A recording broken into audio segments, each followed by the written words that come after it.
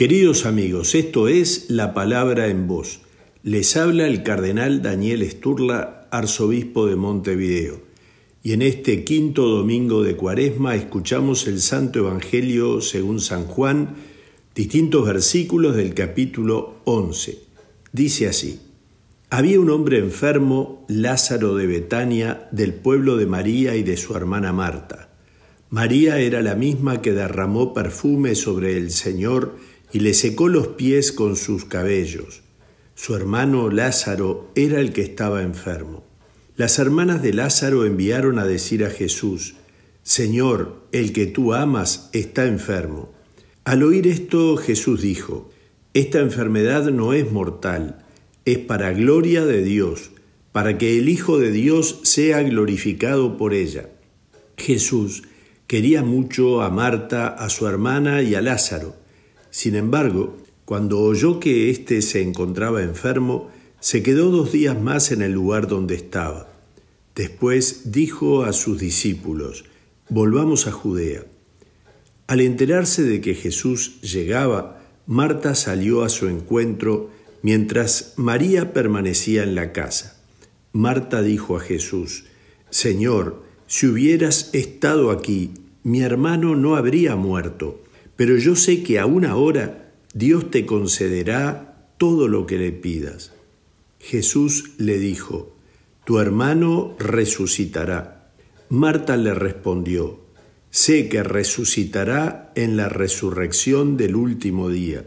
Jesús le dijo, Yo soy la resurrección y la vida. El que cree en mí, aunque muera, vivirá, y todo el que vive y cree en mí, no morirá jamás. ¿Crees esto?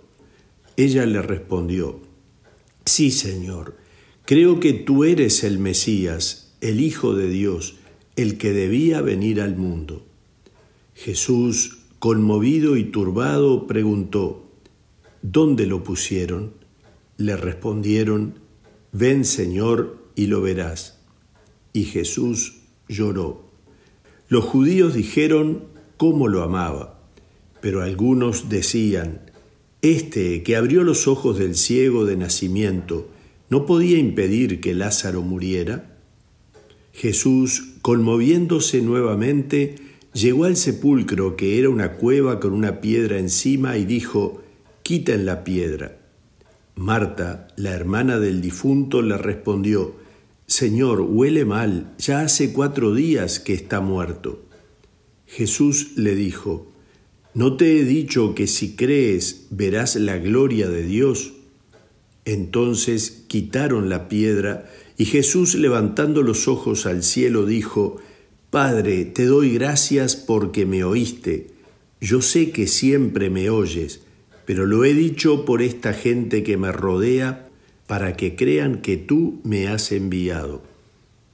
Después de decir esto, gritó con voz fuerte, Lázaro, ven afuera. El muerto salió con los pies y las manos atados con vendas y el rostro envuelto en un sudario. Jesús les dijo, desátenlo para que pueda caminar. Al ver lo que hizo Jesús, muchos de los judíos que habían ido a casa de María creyeron en él. Palabra del Señor. Gloria a ti, Señor Jesús. Queridos amigos, Muchas veces nos hemos podido sentir identificados con el reproche que Marta le hace a Jesús. Señor, si hubieras estado aquí, mi hermano no habría muerto. Tantas veces frente a la muerte de los que amamos, sobre todo si son jóvenes, podemos experimentar esta rebeldía y poder decirle a Jesús de este modo, ¿qué pasa, Señor? ¿Dónde estabas? ¿Qué ocurrió? Si hubieras estado aquí. Pero viene el diálogo de la fe. Yo soy la resurrección y la vida. ¿Crees esto? Sí, Señor, creo que tú eres el Mesías, el que debía venir al mundo. También nosotros queremos decir con mucha fe en todas las circunstancias de la vida, pero sobre todo cuando la muerte de los amados está allí, o cuando la propia muerte se acerca, creo, Señor, en ti. y sé que tú eres la resurrección y la vida, y que el que cree no morirá, sino que vivirá en ti. Por eso, Señor, al aproximarnos a la Pascua, lo hacemos con esta certeza que desecha todo miedo y que nos abre a la esperanza, a la confianza total en tu victoria. Que los bendiga Dios Todopoderoso, Padre, Hijo y Espíritu Santo. Amén.